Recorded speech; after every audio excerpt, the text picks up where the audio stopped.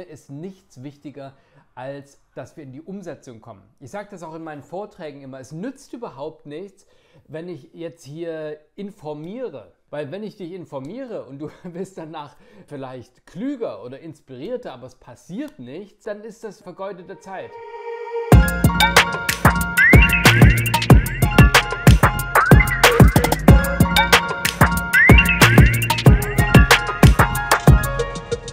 Herzlich willkommen hier im Entfalte dein Laden Podcast. Ich freue mich, dass du heute wieder dabei bist. Der Podcast ist für Ladeninhaber und Ladeninhaberinnen beziehungsweise die, die es werden wollen. Das heißt, wenn du einen Laden hast, wenn du gerade überlegst, einen Laden zu gründen, dann bist du hier genau richtig und ich freue mich total, dass du heute hier dabei bist. Mein Name ist Johannes Albert von Entfalte dein Laden und ich kümmere mich darum, dass Läden besser sichtbar werden, bekannter werden, mehr Kundschaft anziehen und sich so aufstellen können, dass sie wirklich in Erinnerung bleiben und dass gerade dann, wenn die Leute beispielsweise überlegen, ein Artikel, der in deinem Sortiment vorhanden ist, genau dann auch an deinen Laden denken und nicht zuerst irgendwo anders hingehen, in andere Läden, in andere Malls oder online kaufen, sondern dass dein Laden einen festen Ort in den Köpfen deiner Kundschaft hat. Wenn wir noch nicht miteinander verbunden sind, dann kannst du mir sehr gerne auf Instagram folgen. Einfach bei Instagram entfaltet deinen Laden eingeben und dann sind wir miteinander vernetzt und ich freue mich total, dir dann jeden Tag ein paar Ideen, Methoden, Strategien oder aber auch den einen oder anderen ja, freundlichen Tritt in den Hintern zu geben mit ja, Ideen für deinen Laden. Und apropos freundlichen Tritt in den Hintern, heute haben wir einen besonderen Podcast, denn der ist nämlich total kurz, weil ich gerne mit dir schlicht und ergreifend schauen möchte, wie wir in die Umsetzung kommen können. Und diejenigen, die schon mal in meinen Kursen waren, die vielleicht im Entfalte deinen Laden Club sind oder bei mir ein 1 zu 1 Coaching mal gemacht haben, die wissen, mir ist nichts wichtiger als dass wir in die Umsetzung kommen. Ich sage das auch in meinen Vorträgen immer, es nützt überhaupt nichts, wenn ich jetzt hier informiere. Ja, weil wenn ich dich informiere und du bist danach vielleicht klüger oder inspirierter, aber es passiert nichts, dann ist überhaupt, dann ist das, war das äh, vergeudete Zeit. Also wenn dieser Podcast dich hier nur informiert und danach sagst, okay, ich habe wieder was gelernt, aber danach passiert nichts, dann hat das eigentlich nichts gebracht. Und mein Ziel ist es aber, dass wir in die Umsetzung kommen, dass wir Dinge wirklich tun und verändern, denn immer dann, wenn sich Sachen verändern in deinem Laden, gewinnt das die Aufmerksamkeit der Menschen. Ja, also das heißt, wenn sie was in deinem Schaufenster vor deinem Laden, in deinem Laden, auf Instagram, in den sozialen Medien allgemein etwas ändert, dann weckt das Aufmerksamkeit und wir wollen natürlich Aufmerksamkeit, um auch das Interesse der Kunden und Kundinnen zu wecken. Und dieser Podcast ist heute deswegen so kurz, weil ich dir nicht ganz viele große Ideen, Gäste bieten kann und möchte heute, sondern ich möchte dir einfach mal einen Impuls geben. Und der Impuls ist, dass wenn wir andere Ergebnisse wollen, müssen wir auch anfangen, anders zu handeln. Und der schlimmste Feind, den wir haben gegen neue Ergebnisse, gegen bessere Ergebnisse, sind tatsächlich unsere eingeschliffenen Routinen. Und du kennst das ganz bestimmt von dir auch, dass wenn du morgens in den Laden gehst, du hast bestimmte Routinen, die du einfach machst und umsetzt. Und dann kommt der Tag auf einen zu mit äh, allen möglichen Telefonaten, Bestellungen, Kunden und Kundinnen und das alles, was da so dazugehört. Und kaum schaust du auf die Uhr, ist es schon wieder 18, 19, 20 Uhr und du fragst dich so ein bisschen, wo ist eigentlich der Tag hin? Wo sind eigentlich die Dinge hin, die äh, To-Dos, die ich eigentlich mal machen wollte, aber nie dazu gekommen bin? Und jeder von uns hat ja diese To-Dos, diese Aufgaben, die er eigentlich mal machen möchte. Kennst du das auch, dass du sofort an ein, zwei oder drei Dinge denken, äh, denkst, wenn ich sage, diese Dinge, die du eigentlich mal machen möchtest.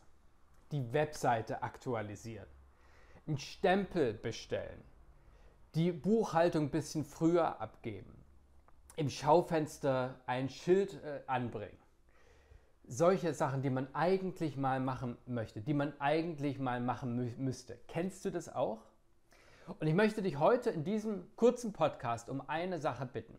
Und zwar die, dass du einmal kurz überlegst, was sind denn jetzt zwei oder drei Sachen, die du eigentlich machen möchtest, die du eigentlich schon immer machen wolltest und überlegst, ja, es war nie wirklich Priorität da. Es geht häufig nicht um die Zeit, ja, weil dieses Ich habe keine Zeit ist in Wirklichkeit eigentlich Ich habe keine Priorität auf diese Dinge. Und ich möchte dich heute in diesem Podcast einladen, eine Sache, die du eigentlich schon lange mal machen wolltest, wirklich zu machen. Was wäre das? Wenn du jetzt mal so in dich gehst, überleg mal, was wäre eine Sache, die du schon lange mal machen wolltest, wo du sagst, die würde total helfen für die Sichtbarkeit meines Ladens. Sei es eben einmal die Webseite überprüfen, ob da alles stimmt. Vielleicht einen Text neu schreiben auf der Webseite vielleicht mal endlich ein Reel hochladen, was du schon lange nicht mehr gemacht hast. Oder im Schaufenster etwas äh, tun. Oder einen neuen Newsletter schreiben. Oder irgendetwas umräumen. Vielleicht gibt es auch diese eine Ecke in deinem Laden, die du immer siehst, die keiner der Kunden und Kundinnen siehst, aber die dich so wahnsinnig stört, die du ändern möchtest. Ich möchte dich jetzt einladen, einmal darüber nachzudenken, was ist die eine Sache, die du unbedingt gerne, dringend eigentlich umsetzen möchtest und ich möchte dich einladen, die Zeit, die wir gerade sparen, weil wir äh, nicht so einen langen Podcast haben, sondern eben nur einen ganz kurzen, dafür zu nutzen, dir das in den Kalender zu schreiben. Denn nur die Dinge, die im Kalender sind, die werden auch umgesetzt, weil alles andere ist nämlich wirklich, man müsste, man sollte, man könnte das irgendwann mal machen. Ja? Entweder einen Termin finden, wann du es machst, beziehungsweise das auch direkt umsetzen. Auch das wäre eine Möglichkeit. Und was mich natürlich sehr interessieren würde, ist, dass du, falls du bei YouTube guckst, einmal unter, unten unter die Kommentare schreibst, was genau das ist, was du tust und ob du es wirklich getan hast, beziehungsweise ob du mir bei Instagram einfach bei Instagram entfalte dein Laden auch da in die Kommentare schreibst, was du umgesetzt hast. Dieser Podcast ist dafür da, dass du Dinge umsetzt. Und das Schöne ist, und deswegen sage ich, mache einfach nur eine Sache. Das Schöne ist, häufig kommt das Momentum dadurch. Bedeutet, wenn du ein was erledigt hast, ja, dann kannst du, äh, dann gibt es so ein Glücksgefühl, hey, Häkchen setzen, ich habe das geschafft, ja. Und dieses Glücksgefühl bewirkt nämlich total viel, weil häufig kommt dann die nächste Aufgabe, wo du sagst, das mal jetzt auch noch, ja. Also, ich möchte dich einladen, dir eine Sache zu überlegen und die jetzt umzusetzen, wenn du es jetzt gerade nicht umsetzen kannst, weil du gerade irgendwie bei, beschäftigt bist oder beim Autofahren bist oder sowas, dann schreib dir das gerne, wenn du nicht mehr Auto fährst, in deinen Kalender und überleg dir genau, wann du das wirklich machen willst. Ich bin ganz gespannt, was du heute hier zusätzlich schaffst von diesen Dingen, die man eigentlich mal machen sollte, aber nie dazu kommt. Und jetzt einfach sagen, okay, jetzt ist die Gelegenheit, jetzt mache ich das endlich mal. Wir haben das im Entfalte Dein Ladenclub auch gemacht, dieses Thema. Und eine Ladeninhaberin schrieb dann, hey, ich habe endlich wegen diesem Impuls meinen Stempel bestellt, meinen Firmenstempel. Kommt ungefähr 15 Jahre zu spät, aber endlich habe ich ihn. Und ist das nicht großartig? Ja? Was ist die Sache, die schon so lange liegen geblieben ist, wo du sagst, okay, die muss ich jetzt dringend mal machen. Ich möchte dich jetzt einladen, das zu machen. Deswegen verabschiede ich mich schon. Eine Sache möchte ich trotzdem noch sagen. Wenn dich das angespornt hat und wenn du gesagt hast, okay, das war jetzt hilfreich, ich mache das jetzt wirklich, großartig, dann feiere ich dich. Kennst du jemanden, der auch diesen Impuls braucht, dann schick diesen Podcast sehr, sehr gerne weiter. Ja, mach das gerne, indem du das einfach per WhatsApp teilst oder äh, ja, ähm, wie auch immer ihr miteinander verbunden seid. Und dann gibt es vielleicht noch äh, für jemand, äh, für eine tolle Kollegin oder einen tollen Kollegen auch noch einen freundlichen Tritt in den Hintern von mir zum Thema Dinge einfach mal umsetzen, die schon lange liegen geblieben sind. In dem Sinne, ich wünsche dir einen großartigen Tag.